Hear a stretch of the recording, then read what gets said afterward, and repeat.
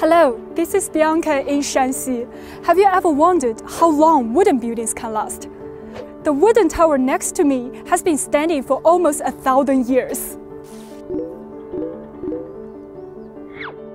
The ancient wooden pagoda holds a sacred place in the hearts of architecture researchers as it represents the pinnacle of wooden architectural structures.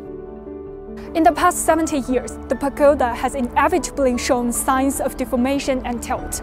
Conserving our heritage remains a pressing concern for researchers. Now there's a possible solution on the horizon. The most crucial part is the 3D reconstruction. We use drones for exterior footage and 360 degree cameras for interior shots. After that, we rely entirely on AI algorithms to reconstruct the model, which takes less than 10 hours.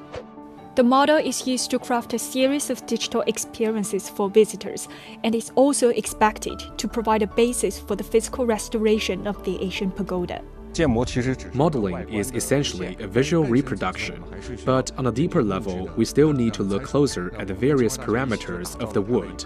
So, together with Tsinghua University, we created a respiratory to track the real-time changes in these parameters of wood structures. This way, we can accurately predict the conditions of the wood, identifying the parts that are more prone to severe damage. These are invisible to the naked eye, yet such data will greatly guide our research.